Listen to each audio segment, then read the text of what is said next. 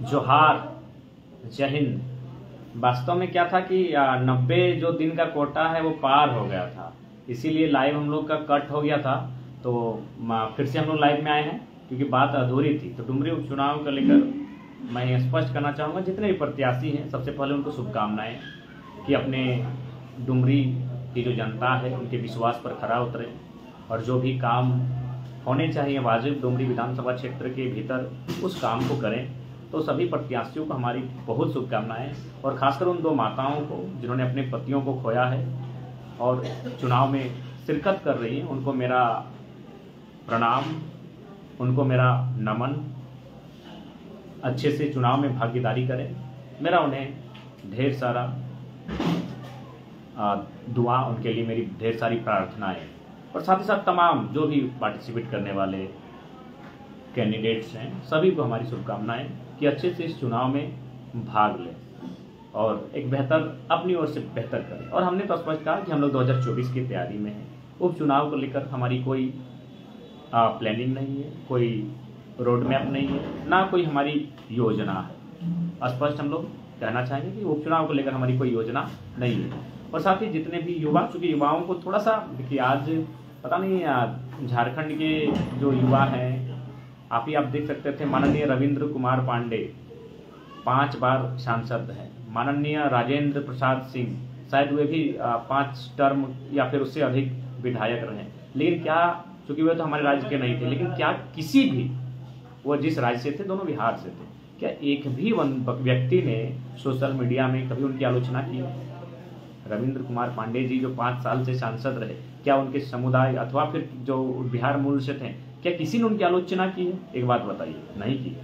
क्या माननीय राजेंद्र प्रसाद सिंह का किसी भी जो प्रवासी हैं, जो कब्जे में रहते हैं क्योंकि ज़ाहिर सी बात उनका जो मैक्सिमम वोटर था उन लोगों कब्जा वाले वोटर्स थे, क्या कभी उनकी आलोचना की है? नहीं की है। ये चीज़ झारखंडी नहीं समझते हैं। अरे, चुनाव मानते हैं। जेएमएम हो आईसू हो, या एमआईएम हो, जितने भी कैंडिडेट्स हैं, या फिर और, वो झारखंड के ही हैं। एक दूसरे की उतनी ही आलोचना करें चुनाव तक, जो संभव है। लेकिन हम लोग अगर एक दूसरे की, चूँकि सुनने में आया एक उड़ता उड़ता खबर आया, कोई विधायक है, चूँकि हम नाम नहीं ले किसी का हम समर्थन नहीं है, लेकिन मेरे हिसाब से लगा कि उचित नहीं है।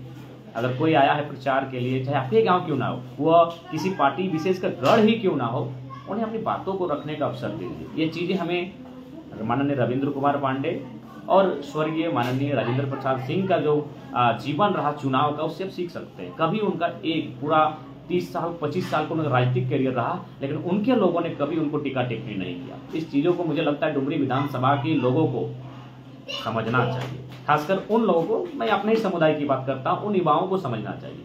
माननीय रविंद्र कुमार पांडे और स्वर्गीय राजेंद्र प्रसाद सिंह, उनके जीवन में एक भी टिप्पणी दिखाई सोशल मीडिया में जो उनके लोगों ने उनके खिलाफ या उनके विरोध में लिखा ये चीज़ तो हमें सीखनी होगी। आलोचना जैसी बात चुनाव है, पॉलिटिक्स से तो हम एक दूसरे से असहमत होंगे। एक दूसरे की विचारधाराओं का काट भी करेंगे। लेकिन ऐसा नहीं फिजिकली विरोध नहीं, शारीरिक विरोध नहीं, वैचारिक विरोध होना चाहिए, लेकिन शारीरिक विरोध ना करें। ये चीज़ें सीखिए, झारखंड के लोगों सीखिए, विशेषकर डुमरी उपचुनाव में बहुत माने सोशल मीडिया के माध्यम से चीज़ें देखने को मिल रही है, जो अमर्यादित प्रतीत हो रही है। सीखिए, माननीय रविंद्र कुमार पांडे के समर्थकों से, माननीय स्वर्गीय राजेंद्र प्रसाद सिंह के समर्थकों से, सीखिए।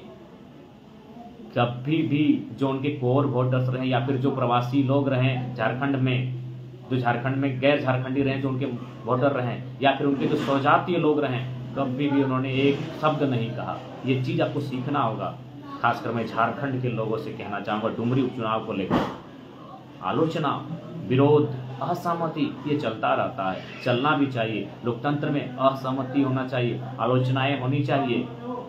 वैचारिक मतभेद होना चाहिए। लेकिन कृपया थोड़ा इसे ईगो में लेते हुए भविष्य में अगर इसका दुष्परिणाम हो, इस प्रकार से कृत्य ना करेंगे। और एक मामला बहुत गर्म चल रहा है डुमरी विधान जो उपचुनाव है। कि कोई साथी है जो आंदोलनकारी हैं और झारखंड मुक्ति मोर्चा माननीय मुख्यमंत्री के मंच पर पहुँच गए। आश्चर्य सबको होगा, क्योंकि सभी ने अपनी मैं मैं रहूँ, चाहे खान साहब रहे या जो भी रहे, सभी ने अपनी पहचान बनाई है।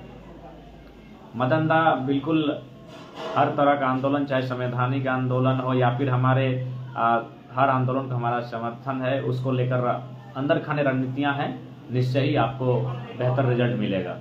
तो जहर सी बात सरकार के विपक्ष में आप बोलकर सरकार के विपक्ष में आप आंदोलन करके रांची तक पद यात्रा करके या फिर मानव श्रृंखला में खड़ा होकर अपनी पहचान बनाए और फिर सरकार के साथ आप चले जाएँगे तो थोड़ा हास्यपद होगा ही। लेकिन खैर है उनसे कोई शिकवा गिला नहीं है, ना ही उनसे कोई हमारी आपत्ति विपत्ति है। बस हम ये खंडन करना चाहेंगे कि उस शख्स का, उस आंदोलनकारी साथी का, उस आंदोलनकारी भाई साहब का जेबी केसेस से कोई संबंध नहीं एक बार जैसे माननीय सूरज सिंह बेसरा है माननीय अमित शाह है सब अपने अपना अलग संगठन बना के निकल गए। तो उनका एक संगठन है, अब क्या है वो आप जाने। उनका ऑलरेडी एक संगठन अभी चल रहा है। हालाँकि जो स्टार्टिंग से जो संगठन था, वो फ़िलहाल अभी बहुत सारा समय के साथ वैचारिक कुछ त्रुटियाँ उत्पन्न हुई, वो स्वाभाविक है, मानव जीवन में चलती रहती हैं। तो उनका संगठन में किसी अलग संगठन से उनका संबंध है, उस शख्स का, जिन्होंने सरकार को समर्थन किया, उससे हमारा, हमारे संगठन J B K S S का किसी भी प्रकार का कोई संबंध नहीं है। इस बात का ध्यान रखेंगे, क्योंकि ये बात मार्केट में आ रही है। तो स्पष्ट कहना चाहूँगा, स्पष्ट बताना चाहूँगा, उस साथी का, हमारे से, हमारे साथियों से, हमारे संगठन से किसी भी प्रकार का कोई संबंध नहीं है। वो उनका अपनी विचार है। और हाँ हो सके जेबी किस्म बहुत सारे ऐसे साथी हैं जो दो हज़ार चौबीस आते आते कहीं जा सकते हैं। आप तो रोक के नहीं रख सकते हैं। मानव है। नदी की धारा है। नदी की धारा में डैम बनाया जा सकता है। इंसान कहाँ रोकिएगा?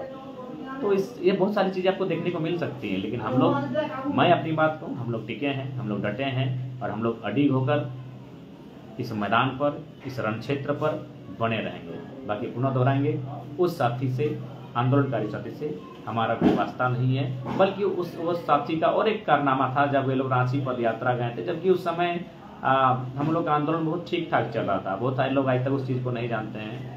इक्कीस तारीख को वे लोग पद यात्रा में गए थे और हमको लगता है पहला कार्यक्रम था जिसका कोई डायरी मेंटेनेंस नहीं था। जी हाँ कभी डायरी मेंटेनेंस हम लोग ऑलरेडी सत्रह तारीख, चार दिन पहले हम लोग का सत्रह तारीख को दामोदर नदी के ऊपर मीटिंग है। दामोदर नदी के ठीक बोकारो की सीमा में मीटिंग है। ढाई सौ, लगभग चार जिला के ढाई सौ नौजवान वहाँ बैठे हैं मीटिंग में और वहाँ फैसला होता है कि अगर भाषा वापस नहीं होगी तो हम लोग ओवरब्रिज के आसपास बहत्तर घंटे तक एक रोड को जाम करेंगे। ये चर्चा हो रही थी। तभी अचानक चार दिन बाद वे लोग सिर्फ़ सोशल मीडिया में अपना बयानबाजी करते हुए पद यात्रा में चले गए। और वो साथी जो आज सरकार के साथ है, वो भी उस आंदोलन में गए थे। जो पद यात्रा निकली थी, जो बिना पूछे, बिना कहे, बस चार पाँच लोगों के राय से उसमें वो साथी भी थे। तो ज़ाहिर सी बात है, उन्होंने शुरू में भी ऐसा प्रयास किया है। और आज भी वो उनकी अपनी निजी विचारधारा है। लेकिन फ़िलहाल हमारा उस साथी से, उस भाई से कोई संबंध राजनीतिक संबंध नहीं है। बाकी मानवता के नाते, दोस्ती यारी के नाते, भेंट, मुलाकात चाहे वो अलग विषय है, कभी हो सकता है। और लेकिन राजनीतिक संबंध और फ़िलहाल वैचारिक संबंध किसी प्रकार का उनसे नहीं है। वो अलग संगठन के हैं, हमारा संगठन जेबी केसेस से और जेबी केसेस से उस आंदोलनकारी का कोई संबंध नहीं है। इस बात का ध्यान रखेंगे। जोहार झारखंड, जय झारखंड।